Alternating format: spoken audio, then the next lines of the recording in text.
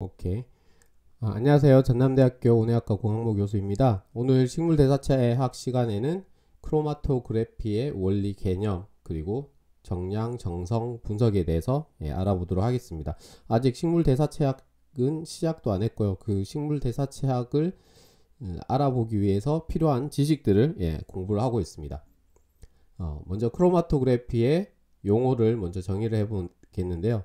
크로마토그래피라고 하면 물리화학적으로 음, 물리화학적으로 예, 물리화학적으로 물질을 분리하는 방법을 크로마토그래피라고 해요. 그래서 크로마토그래피에는 두 가지 예, 중요한 것이 있습니다. 첫 번째는 예, 고정상 그리고 두 번째는 이동상. 그래서 어, 고정상은 음, 가만히 있는 거죠. 그리고 이동상은 주로 용매나 기체가 되는데 예, 이런 이동상이 예, 혼합물을 녹여서 이동하는 동안 고정상의 음, 특이한 어, 작용기들이 예, 혹시, 예, 작용기들이 폴라한거나 혹은 넌폴라한거나 예, 그런 것들이 어, 이동상에 녹아 있는 그런 물질들과 예, 상호작용을 통해서 어, 이동하는 속도를 예, 천천히 마, 만들게 되죠. 그렇게 하면 속도의 차이가 생겨서 음, 크로마토 어, 속도의 차이가 생겨서 그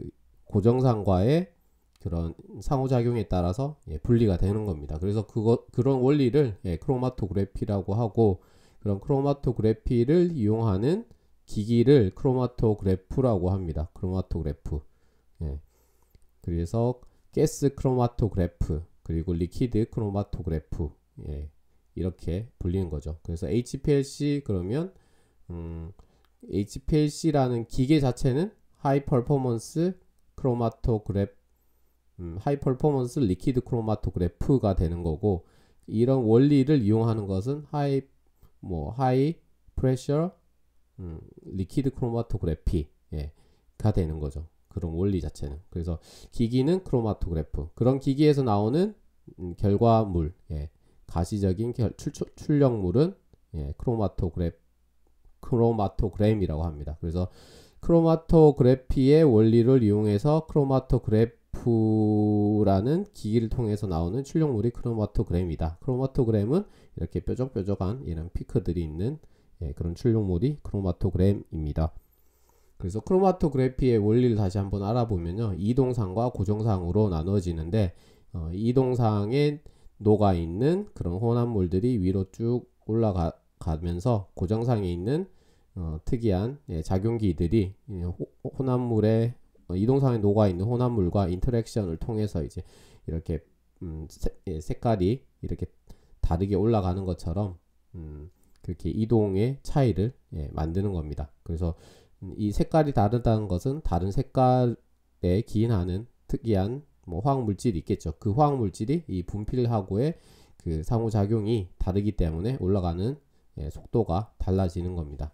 예, 똑같이 마찬가지로 종이 크로마토그래피는 고정상이 종이이고 예, 이동상은 물이 물입니다. 여기서는 다양한 색깔의 혼합 물인 사인펜이 예, 물에 녹아서 올라가면서 음, 다양한 예, 무, 색깔마다 이동하는 거리가 예, 달라서 맨 밑에는 보라색, 위에는 파란색 뭐 이렇게 예, 이동의 차이가 생깁니다. 예, 이런 원리를 크로마토그래피라고 하는 거죠. 이런 크로마토그래피는 분석의 굉장히 기본적인 예, 원리고 방법이고 어, 굉장히 많이 예, 이, 사용됩니다. 특히 식물 분야에서 식물 예, 그리고 식품 분야에서 예, 음, 이용되는 굉장히 많은 예, 분석 기기의 원리들이 크로마토그래피 원리입니다. 그래서 그이 크로마토그래피 중에서 이동상을 어, liquid 예, 액체를 쓰면 liquid 크로마토그래피 예, 그리고 음, 가스를 쓰게 되면 예, 기체를 쓰게 되면 가스 크로마토그래피라는 게 되고요. 그래서 저희 어, 식물 대사체학 시간에는 저희 연구실에 예, 가스 크로마토그래프가 있기 때문에 이 가스 크로마토그래피의 원리를 알아보고 예, 나중에 가스 크로마토그래프라는 기계를 예, 많이 실습을 해보고 싶습니다. 예. 그래서 어, 이 시료들이 injection 되고 예, 시료들이 주입됐을 때는 이렇게 혼합물이 있는데요. 예, 지금 가스 크로마토그래피의 원리에 대해서 얘기를 합니다. 예, 아주 작은 예, 얇은 그런 관이 있는데 그 관에 이런 충진대들이 예, 채워져 있어요. 여기 이 충진제들이 이, 이 혼합물들과 예, 상호작용 때문에 어떤 것들은 이렇게 빨리 가기도 하고 어떤 것은 또 이렇게 느리게 이동하기도 합니다.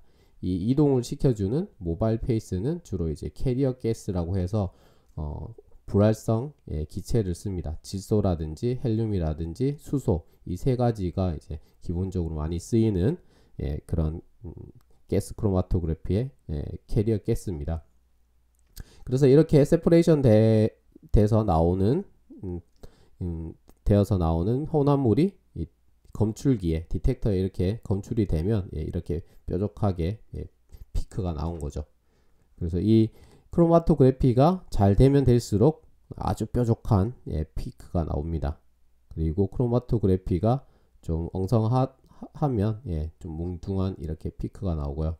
그리고 이런 뭉뚱한 피크 또한 이제 이거는 어 좀 시료의 양이 과다할 때 이렇게 주로 나오는 예, 형태입니다. 보통은 어, 조건이 좋을 때는 양 이 중심을 통 중심을 기준으로 양쪽이 예, 어, 스메트리합니다. 좌우 대칭이 보통 됩니다.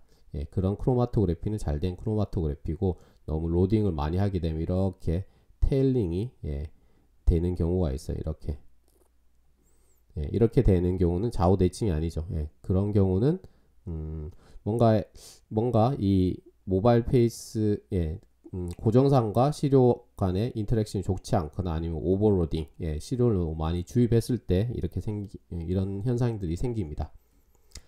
어, 이런 이동상과 고정상 예, 다 특징이 있는데요. 이동상에 대해서 먼저 알아보면 어떤 가스를 쓰느냐에 따라서 분해능과 분석 시간이 예, 차이가 생깁니다. 헬륨 그리고 아 헬륨이 아니네요. 수소, 예, 헬륨 그리고 질소 이 세 가지가 이제 가장 많이 쓴다고 했는데 이 중에서 아마 가장 싼 것은 예, 예, 질소일 거고요. 음, 그리고 어, 헬륨 이 아마 어, 헬륨은 예, 비싼 걸로 알고 있습니다. 비, 음, 헬륨은 예, 한, 한 가스 실린더에 한 40만 원씩 정도 하고요. 어, 수소는 어, 수도 정확하게는 저 가격은 잘 모르겠는데 수소를 잘 안 쓰는 이유 중에 하나가 수소는 이제 폭발의 위험이 있기 때문에 잘 쓰지 않습니다. 하지만 수소를 쓰게 되면 하나 이제 좋은 점은 이런 분석 시간이 예, 질소와 비교해 보면 획기적으로 예, 줄어들죠. 예, 그래서 분해 능이 훨씬 더 예, 좋은 게 예, 수소 가스입니다. 예, 특히 이렇게 이, 런 두 개의 피크를 잘 비교해 보면 헬륨은 그 어느 정도 수소의 분해 능을 따라가긴 하지만 질소 같은 경우는 분해가 잘 안 되는 그런 예, 피크들도 있기 때문에 어, 이런 이동사항을 어떤 것을 설, 선정 예, 선택을 하느냐에 따라서 예, 분석 시간이나 분해 능이 예, 좀 차이가 있습니다. 그리고 대부분은 예, 헬륨 가스를 예, 쓸 겁니다. 예, 저는 이제 GC 매스를 예, 기준으로 얘기를 하는데요. 예, GC 매스를 기준으로 얘기를 하면 어, 헬륨을 쓰는데 이 헬륨도 어, 그레이드가 있더라고요. 예, 헬륨 가스 중에 6.0이라고 이제 돼 있는 게 있고 예, 5.0이라고 돼 있는 게 있습니다. 6.0의 6은 이 어, 9가 9, 9가 6개입니다. 99.99999% 예, 헬륨의 순도를 가진 게 예, 음, 그레이드 6.0이고요. 그러면 5, 5는 네, 9가 5개겠네요. 99.999 이렇게 되겠네요. 네, 99.999 되는 그레이드가 5.0 그리고 5.5도 있어요. 네, 5.5는 뭐냐 하면 네, 99.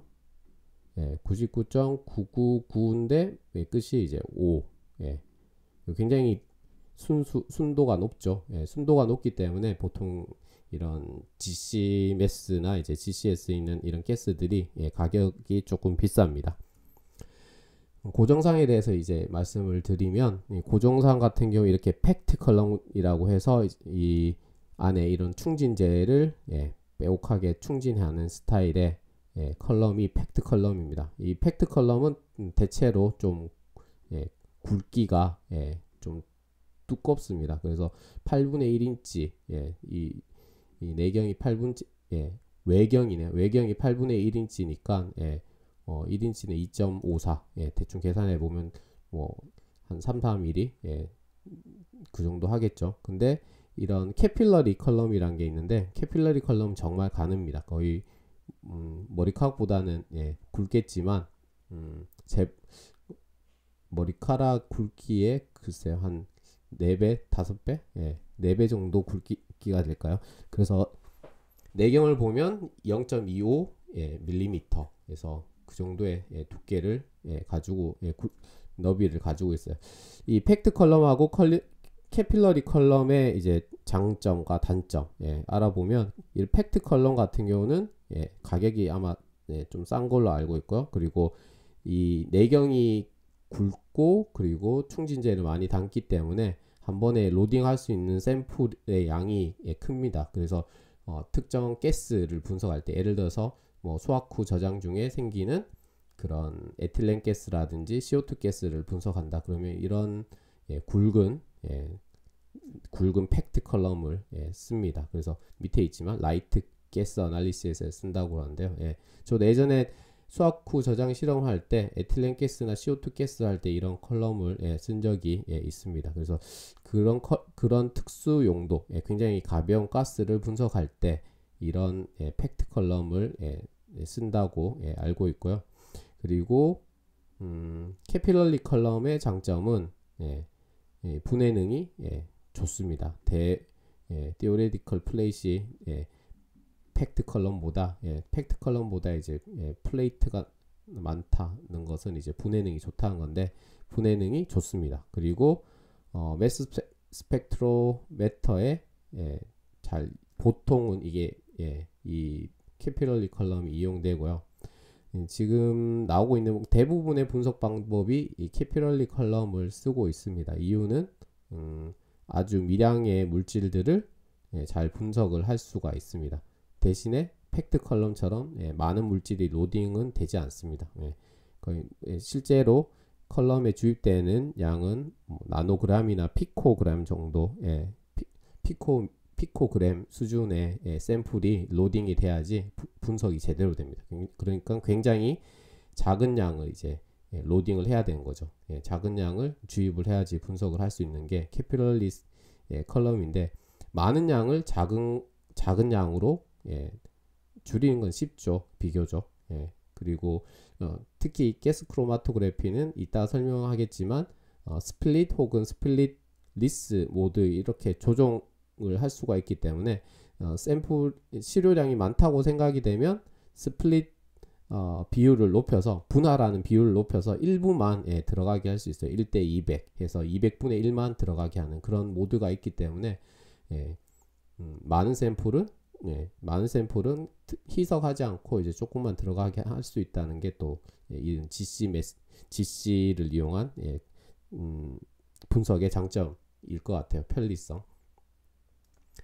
음, 이 문서를 보면요, 예, column selection에 대해서 얘기하고 있는데, 어, 이 selection에 대해서 이제 예, 이야기하고 있는 예, Restek에서 이제 제공하는 예, 문서입니다. 여기 보면 어, 떤 컬럼을 써야 되는지 그리고 컬럼의 분해 능에 영향을 미치는 게 뭔지 그리고 고정상 이동상 예, 이동상은 대부분 예, 지시 같은 경우는 뭐 바꾸기가 힘듭니다. 헬륨 쓰는 예, 기기는 계속 처음부터 끝까지 헬륨 쓰는 경우가 대부분이기 때문에 음, 이동상을 보통 예, 교체한 것보다 고정상을 교체하는 경우가 많고요. 그리고 어, GC를 이용한 가스 크로마토그래피의 음, 주요한 그런 음, 여러 가지 분석 조건의 예, 조절 같은 경우는 이런 컬럼의 길이 그리고 내경 예, 그리고 피, 예, 이런 내부에 코팅되어 있는 예, 음, 특수한 물질의 이제 두께 이런 걸로 이제 어, 물질이 얼마나 로딩 될 수 있는지 그리고 얼마나 잘 분, 분리될 수 있는지 결정이 됩니다. 그래서 분해능에 영향을 미치는 조건들을 알아보면요. 분해능은 예, 분해능 예, separation이 되는 정도는 어, 4분의 1의 루트 n이라고 하네요. 루트 n. n이 뭐지?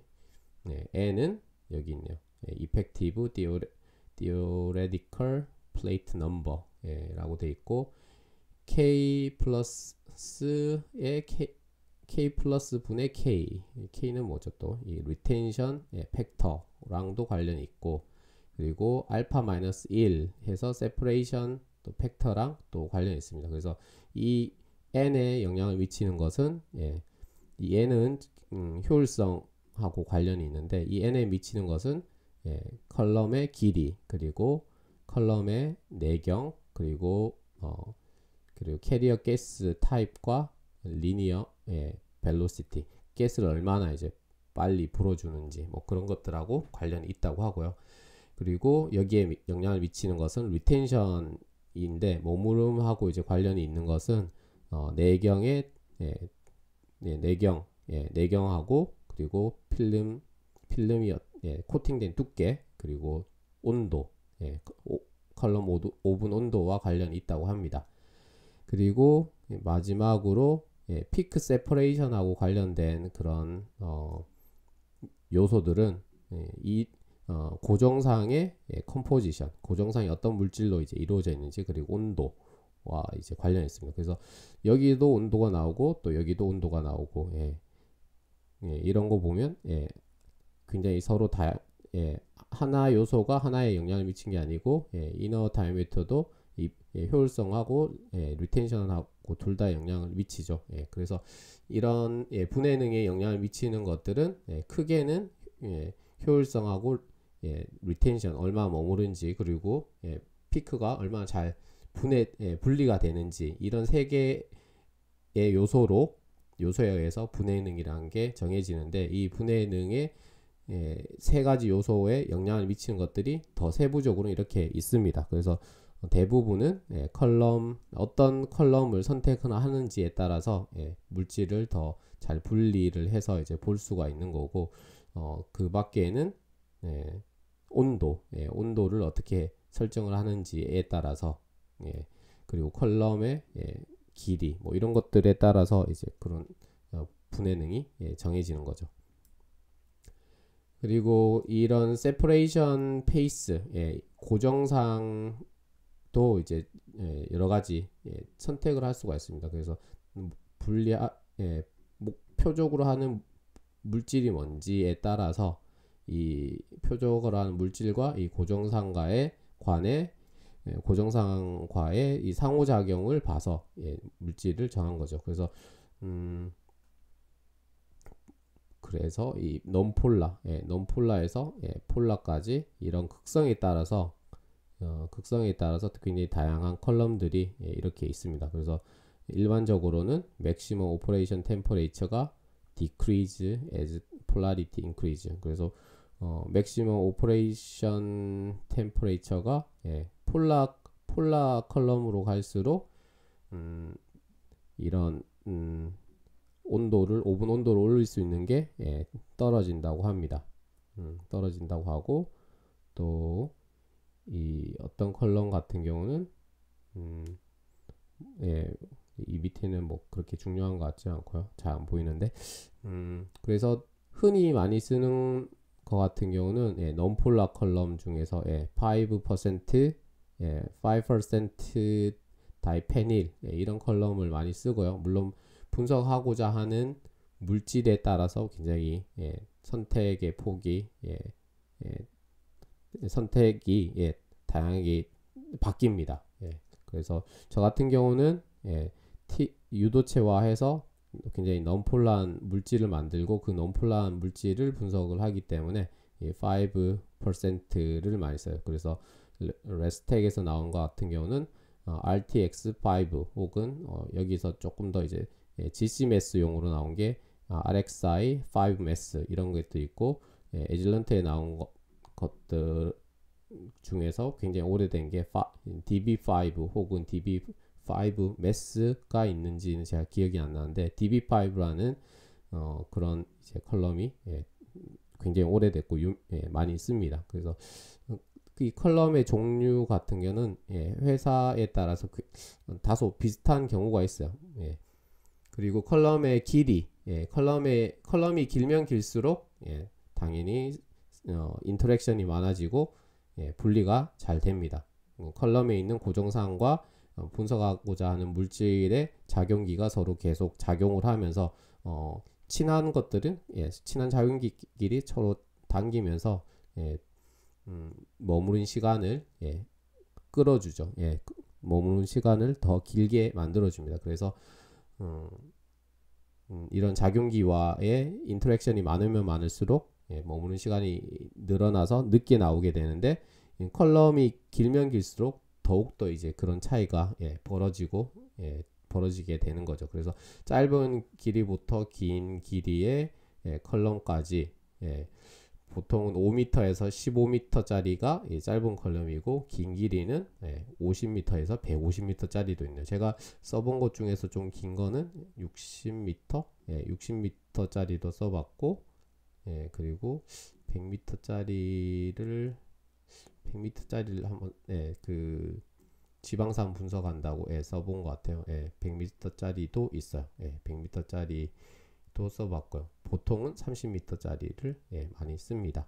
30m짜리는 예, 좋은 효율을 가지고 있고 예, 그냥 보통 많이 쓰는 예, 중간 정도의 예, 분석 시간을 가지고 있습니다. 그래서 컬럼이 길어지면 길어질수록 예, 이피션시가 좋아지는데 반면에 예, 분석하는 시간이 많고요. 그리고 어, 길면 길수록 노이즈가 조금 더 심합니다. 왜냐하면 길면 길수록 이 코팅되어 있던 물질들이 이렇게 떨어져 나와서 그 떨어진 나온 물질이 음, 일종의 그냥 노이즈로 계속 잡히는데 그런 그런 물질 중에서 한 번에 이제 좀 다량으로 이렇게 코, 음, 코팅된 것들이 필름에서 떨어져 나오면 음, 뭐 GCMS 같이 이제 민감한 디텍터 같은 경우는 어, 이렇게 그런 것들 이렇게 피크로 이렇게 잡아줍니다. 이 분석 물질은 상대적으로 훨씬 크겠지만 이런 피크들이 여전히 잡히는데 예, 난데없이 뭐 분석 물질과 전혀 상관없이 잡히는 이런 GC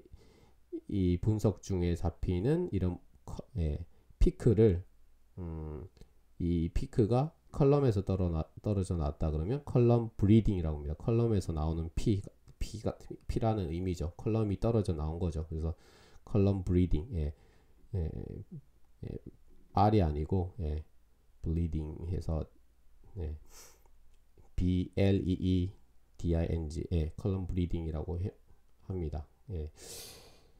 어, 그리고 inner diameter 예, 내경 같은 경우도 예, 중요한데요. 작은 내경에서 예, 긴 내경 예, 예, 큰 내경인데 작은 내경 같은 0.15에서 0.18mm 정도 되는 걸 작은 내경 그리고 예, 큰 내경은 0.53mm 정도 되는 거. 예, 큰 내경은 efficiency가 예, 좋아지고 대신에 또 분석 시간이 길어지고 어, 하지만 higher sample loading capacity. 그래서 굵은 컬럼은 더 많은 샘플들을 주입을 할 수가 있습니다. 그리고 어, may require higher 어, flow rate. 예, 굵기 때문에 네, 가스를 더 많이 쓰고요. 그리고 음, 아 그리고 가스 레인만 말한 게 아니고 than 음, mass detector can tolerate. 그래서 음, 이건 단점 중에 하나인데요. 음, mass detector가 이제 감당할 수 없을 정도의 예, 그런 가스 flow rate를 예, 넣는 거죠. 예. 그래서 너무 크면 그것도 좋지가 않네요. 그래서 어플리케이션 같은 경우는 예, packed 컬럼 이렇게 굵은 것들은 기존의 packed 컬럼을 이제 대체할 수가 있네요. 예, 그래서 음, 이런 굵은 내경의 컬럼 같은 경우는 예, 가스 분석을 할 때 아까 전에 packed 컬럼 얘기 나왔을 때 이제 제가 에틸렌이나 아니면 뭐 CO2 분석할 때 이제 썼다고 말씀드렸는데 그런 packed 컬럼 대신 이렇게 내경이 굵은 컬럼을 이용을 하면 예, 그런 어, 굉장히 가벼운 어, 가스들을 분석을 할 수가 있어요. 예, 수확 후 저장 중에 만들어지는 그런 CO2, 에틸렌 뭐 이런 것들을 예, 분석을 할 수 있습니다. 음, 그리고 작은 예, 작은 내경을 가지면 예, 빨라요. 그리고 예, 이 복잡한 예, 복잡한 샘플들을 예, 짧은 시간에 예, 잘 분리를 할 수 있다는 장점이 있는데 대신에 예, 로딩 샘플을 예, 시료를 너무 많이 주입을 할 수가 없습니다. 예, 컬럼이 작기 때문에 굉장히 미량으로 예, 넣어야 되고요. 예, 음, split injection을 해야겠죠. 음, 보통 1대 100이었던 샘플 같으면 이게 내경이 작기 때문에 1대 1대 뭐 400이나 훨씬 더 작게 해야 되는 뭐 그런 예, 그런 게 있겠죠. 예. 아이고. 그래서 예. 이런 장단점이 있습니다. 그래서 보통은 예, 0.25mm를 예, 씁니다. 예, 보통이라고 말하면 좀 그렇고 저희 랩에서 제가 하는 분석에서는 예, 30m 컬럼 길이에 0.25mm를 쓰고요. 아마 대체로는 그런 컬럼을 많이 쓰고 쓴다고 알고 있습니다. 물론 이건 연구실마다 예, 다른 건데요. 예, 그래서 양쪽의 이 장단점을 예, 둘 다 가지고 예, 적당히 예, 퍼포먼스도 좋으면서 예, 샘플도 어느 정도 로딩을 할 수 있고 이피션시가 좋은 그래서 복잡한 물질 샘플들을 이제 음, 분리를 할 수 있으면서 split이랑 split 예, 분할 분할 분할 주입, 예, 비분할 주입 예, 이런 걸 할 수 있는 그리고 head space나 예, 그러니까 향기 물질을 한 거죠. 아니면 direct 분석. 예, direct 분석은 시료를 예, 고체나 liquid 상태를 바로 이제 그 mass mass라든지 detector에다가 예, 분석을 하는 게 direct 분석일 것 같은데 하여튼 그런 방법들 같은 경우 이런 컬럼을 쓰고요. 컬럼 thickness, 예, 필름 thickness는 이제 capillary 컬럼의 이 안쪽에 예, 안쪽에 추, 충진되는 예, 안, 안쪽에 충진되는 그런 어, 두께를 얘기를 한 거죠. 이 이쪽에 예, 이 아, 안을 얼마나 두껍게 예, 충진하느냐를 얘기하는데 두꺼우면 두꺼울수록 예, 많은 물질들이 예, 두껍고 이게 크면 많은 물질들을 예, 로딩을 할 수가 있겠죠. 예, 많은 물질들 로딩할 수가 있는데 어, 이런 고정상의 그런 필름 thickness 같은 경우는 retention time, resolution 그리고 elution temperature하고 많은 영향이 있다고 합니다. 그래서 어, 보통 thickness가 예, 0.1 마이크로미터에서 0.5 그리고 1, 에서 10대는 아주 두꺼운 예, 그런 컬럼이 있는데 어, 두꺼울수록 retention time이 예, 올라가요. 예, retention time이 올라간다는 것은 예, 분리가 더 잘 될 수 있을 것 같은데요. 예, high resolution이고 예, 특히 volatile이나 low molecular 예, weight의 compound에 대해서 훨씬 더 분리를 잘 할 수 있는 반면에 아까 전에 말씀드렸던 컬럼 bleeding 예, 여기 higher column higher bleeding 그래가지고 예, 어, 이 bleeding이 더 많이 생기네요. 예, 그게 예, 문제입니다. 음, 그래서 필름 두께가 두꺼울수록 예, 안에서 예, 온도가 보통 가스 크로마토그래피 같은 경우는 온도가 낮은 온도에서 높은 온도로 쭉 올라가는데 높은 온도가 올라가면 갈수록 이런 컬럼에 인, 예, 코팅되어 있던 그런 어, 물질들이 많이 떨어져서 이제 온도에 의해서 떨어져서 이제 예, 잡히는 거죠. 예, 잡피크로 예, 노이즈로 잡히는데 그런 예, 걸 이제 bleeding이라고 하는데 예, bleeding률이 훨씬 높습니다. 대신에 이렇게 얇은 예, 필름 코팅 필름 코팅이 된 예, 그런 컬럼을 이용하면 어, 훨씬 낮은 예, bleeding이 되고 그리고 maximum temperature를 훨씬 더 올릴 수 있습니다. 보통 음, 제, 보통 이제 DB5라든지 예, 흔히 쓰는 그런 음, 컬럼의 maximum temperature가 음, 340도 뭐 이런데 이렇게 컬럼이 이제 예, thickness가 이제 훨씬 더 굵은 컬럼 같은 경우는 음, 그렇게 높은 온도를 못 올리죠. 예. 그 경우에 따라서 뭐 300도 이하 혹은 250도까지밖에 못 올리는 그런 컬럼들이 있습니다. 그래서 그런 것들은 이제 이런 음, 어떤 물질로 충진되어 있고 코팅이 되어 있는지 그리고 컬럼 예, 필름 thickness가 어떻게 되는지 두께가 어떻게 되는지 그런 거에 따라서 예, 그런 것, 것들 요소에 따라서 예, 정해지는 거죠.